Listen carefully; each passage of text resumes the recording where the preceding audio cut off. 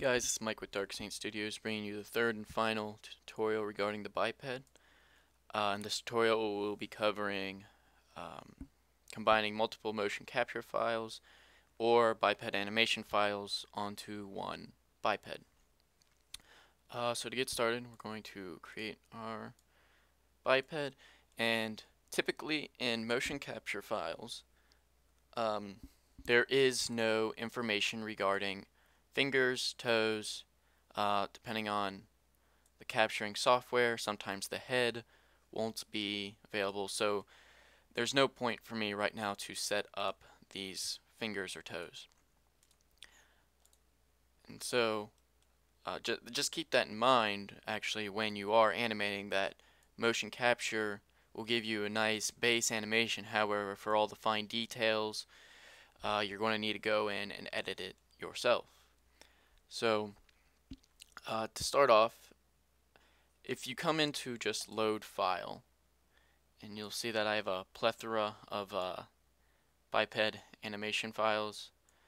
Uh, I got these from um, Carnegie Mellon Graphics Motion Lab released um, 2,548 human motions and um, forget his name, but someone converted a lot of them into this .bvh.bip format.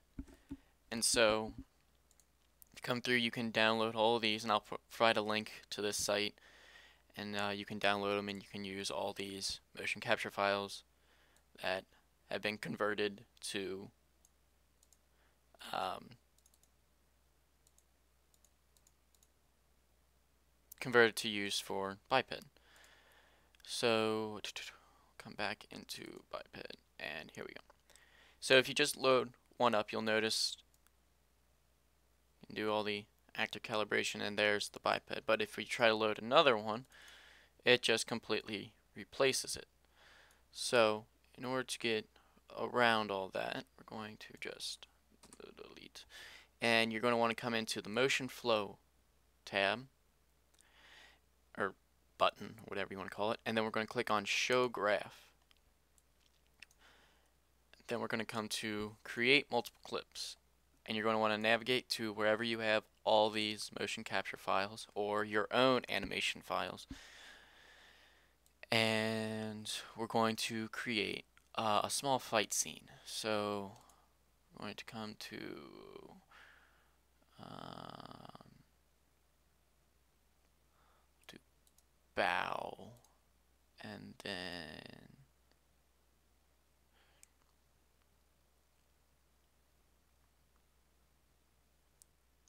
back handspring gonna want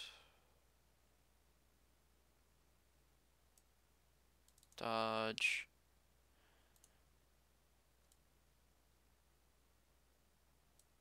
Double round kick is there a punch? Punch, punch, punch. Where's punch?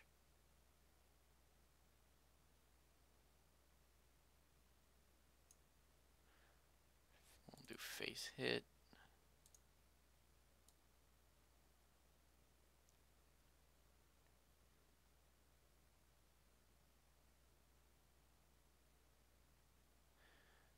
There we there's punch. It's in all in alphabetical order, so you would think I would find that earlier.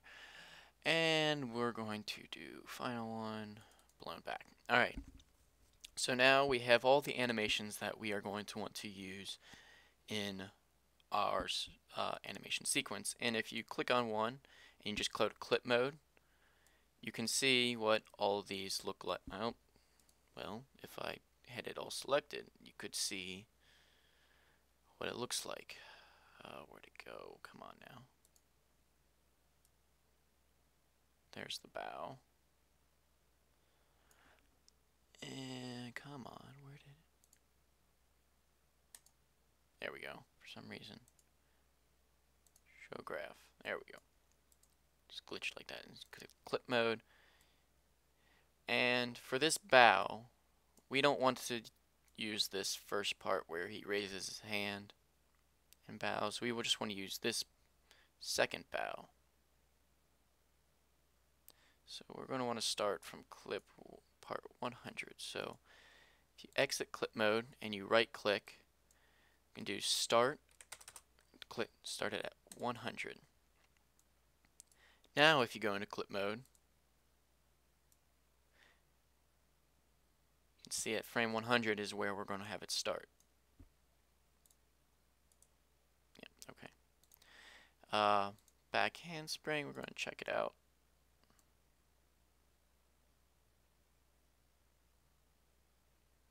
Looks good.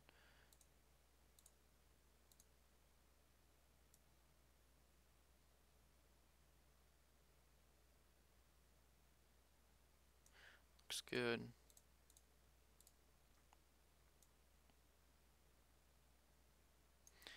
Looks good. Face it.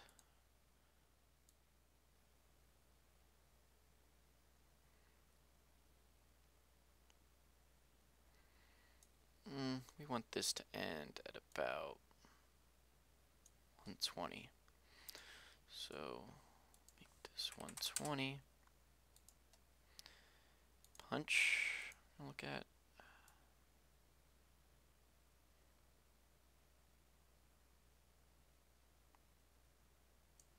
Want this to end at 90.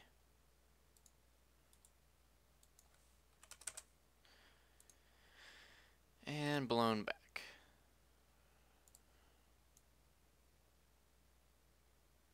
Looks good.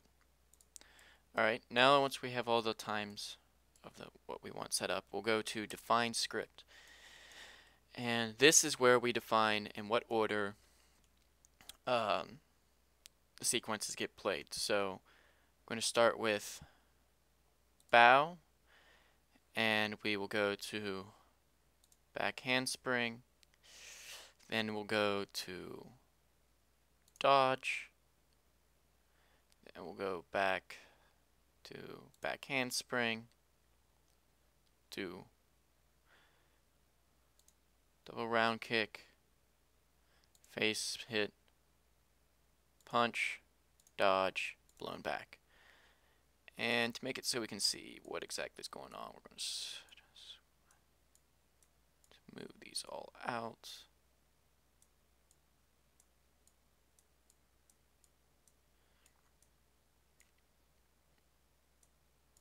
Okay.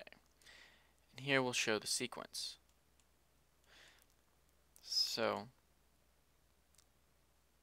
he bows, jumps back, dodges,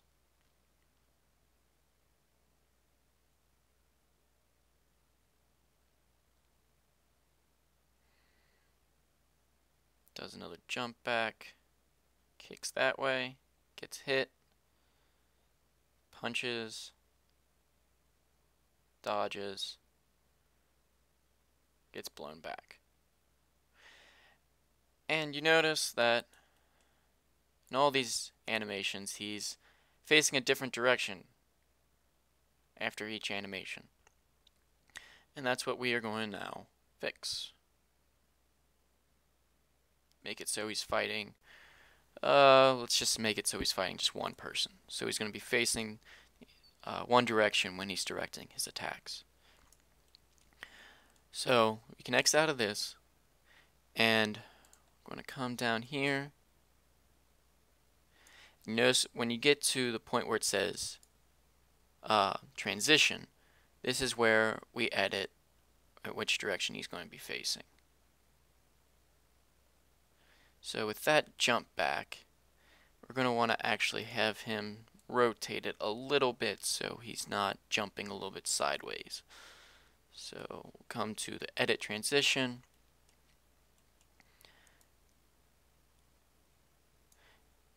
And we'll bring this over and we're going to want to do it like 10.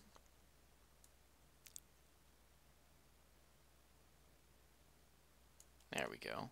Looks good. Now he's facing that way. Uh, and then we'll come to this transition right here. And we'll click Edit Transition. And we don't want him looking to the right. So we'll make this 45. Oh, negative 45.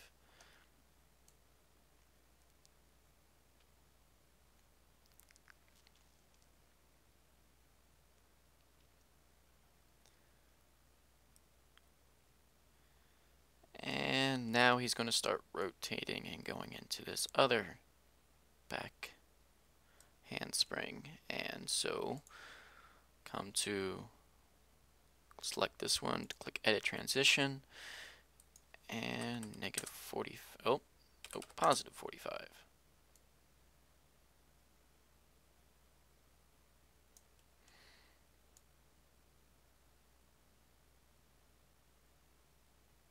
We're actually going to want a little bit more, probably about 55.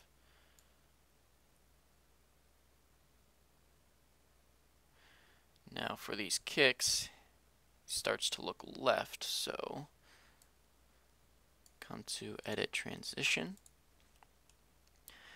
and we'll make this 45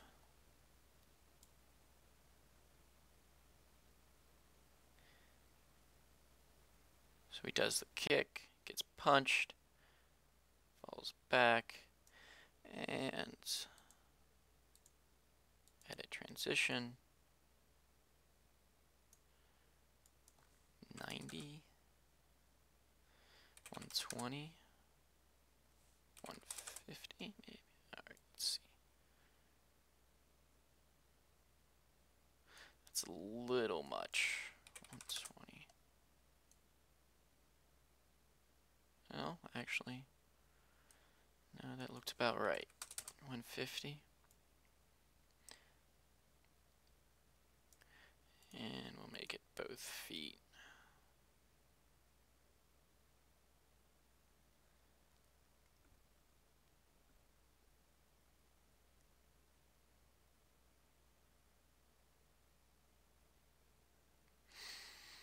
And there we go. Um, for this one right here, I want to make this fixed. Now we're going to keep that as rolling. The difference between fixed and rolling is that for the when you're doing the transition and the blending of the animations, fixed means that this second animation will not change uh, its location and will not blend, whereas it's all the entire blending is dependent on the source for this case. But if we make them both fixed, you'll see that there's no blending between the two. He just rotates over.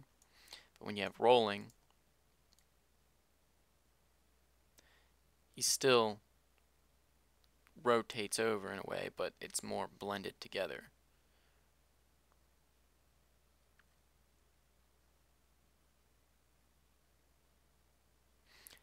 And this is what I'm talking about when you're going to have to come through and you're going to have to uh, do a little bit of your own editing for the animation. You're going to have to come through and use your layers and make it so he takes a step over when he rotates around and everything. So we'll click OK. And now we can play the entire animation. So he bows. Back.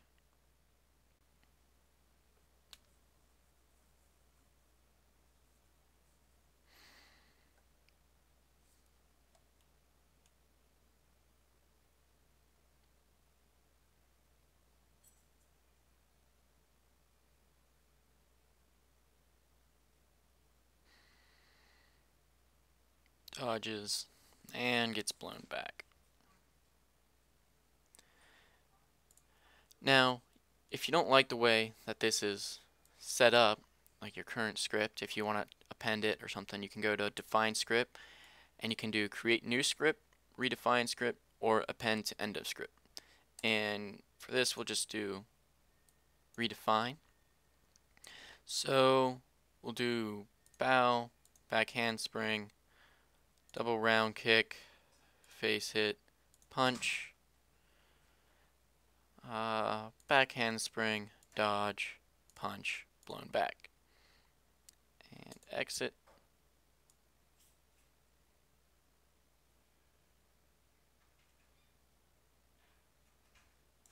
Now, because we redefined the script, you're going to have to go through and edit the transitions again. However, now we have a completely new animation sequence just by redefining the script. So once you have all that done, you notice if you exit motion flow mode, nothing's there. So we're going to come back to motion flow mode and we're going to click, once you're happy with what you have, you just click uni create unified motion. Uh, you can choose key per frame, um, and foresight K-strains, all this stuff. Just click OK. Uh, why is okay, and then exit. And there you have it. You have your entire animation sequence on your timeline. And from here, you can go through in your layers, and if you are unfamiliar with the layers of um, biped, you can watch the previous tutorial, which I cover the layers. And you can see that there's actually quite a bit of fixing that you need to do. However, just come through with this new layer and auto key and we can create new keys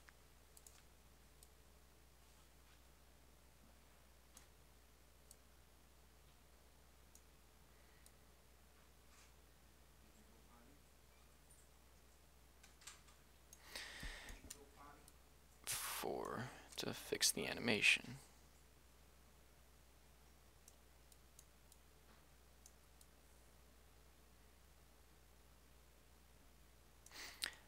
Alright, uh, I'm not going to go through and fix everything because that would just be a lot of time. But hopefully you guys get the general idea and um, I'll be sure to post that link for all the animation files and hopefully you guys learned something and hope to hope to see some of your guys' animations. Feel free to post video responses and if it's good I'll approve them and love to see how you guys use it. And Anyway